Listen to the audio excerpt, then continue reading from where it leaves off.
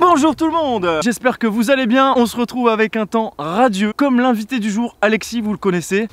Eh, tu m'as éclaté le pied Arrête Ça va et toi? Impeccable, la forme, Ouais. la patate. C'est marrant parce qu'on s'est pas encore vu aujourd'hui, on n'est pas venu en voiture ensemble. On vient de se croiser. Non, en vrai, on est venu en voiture ensemble et la route était longue pour venir jusqu'ici. hein. Sacrément longue, ouais. C'était fatigant. Aujourd'hui, on part dans la Creuse et plus précisément en fait à la frontière de la Creuse. On va voir pourquoi on appelle ça la vallée des peintres. C'est riche en histoire, riche en patrimoine, en paysages pittoresques. C'est parti. T'es chaud? Je suis bouillant. Allez, let's Allez, go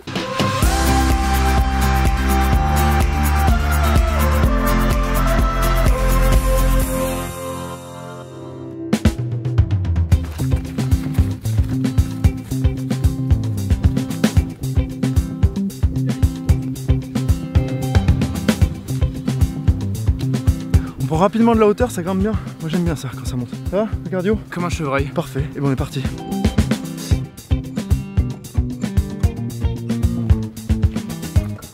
Le sentier qu'on emprunte, en fait, il est balisé. C'est le GRP du Val de la Creuse. Le sentier surplombe la vallée de la Creuse. Donc, c'est vraiment, on a un joli point de vue tout au long de la marche, avec des points de vue privilégiés par-ci par-là, sur les troncs rocheux en face, avec les ruines de la cité médiévale de Crozon, quoi. C'est joli.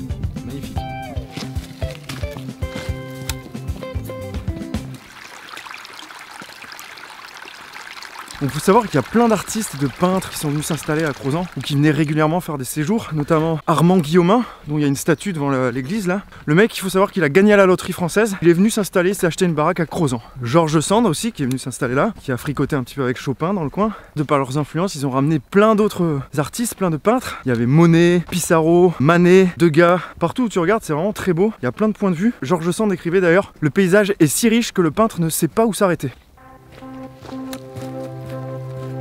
Là, on va arriver sur l'un des plus beaux points de vue de la randonnée. C'est le rocher de la fileuse. Prépare-toi, mec, ça va être très très beau là. Que c'est incroyable.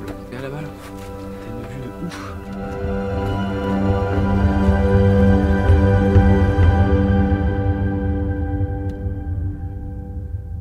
Ici, on est au rocher des fileuses. Je sais pas si t'avais vu sur la carte ici, ça s'appelle le rocher des fileuses.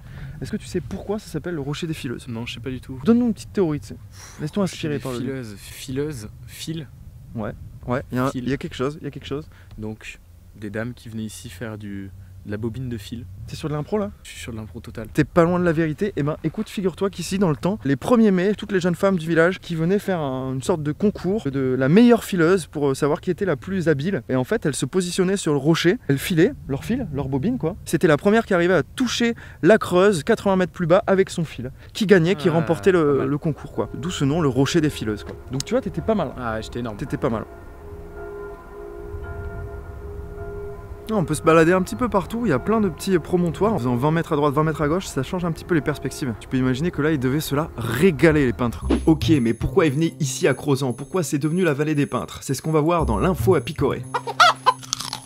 Alors si c'est devenu la vallée des peintres, c'est principalement pour deux raisons, et la première est technique, puisque c'est l'invention du tube de peinture qui a permis aux artistes d'aller travailler en dehors de l'atelier sans que la peinture ne sèche. Ils sont mis alors à explorer de nouveaux lieux, ce qui nous amène à la deuxième raison qui est purement logistique, puisque c'est le train qui partait depuis Paris et qui les a amenés à la gare de Saint-Sébastien juste à côté de Crozan. C'est pour ces deux raisons que très rapidement Crozan est devenu the place to be, la vallée des peintres.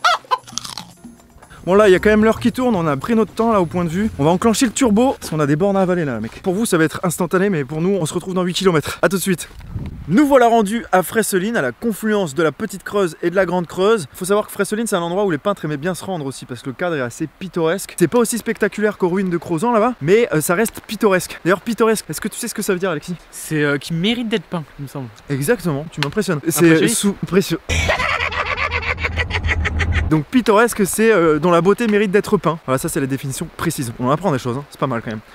C'est ici que se termine notre randonnée sur les bords de la Creuse, pas loin de Fresseline. On vous laisse en chanson devant les ruines médiévales de Crozan. On vous dit à la semaine prochaine pour une petite régalade. Des bisous, ciao Allez, ciao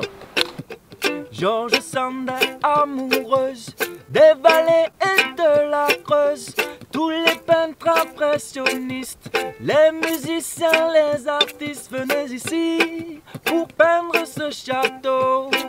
Oh, tous les peintres impressionnistes, il y avait Guillaume, il y avait des musiciens, il y avait Chopin, il y avait Degas, il y avait Monet, il y avait Manet, il y avait Pissarro.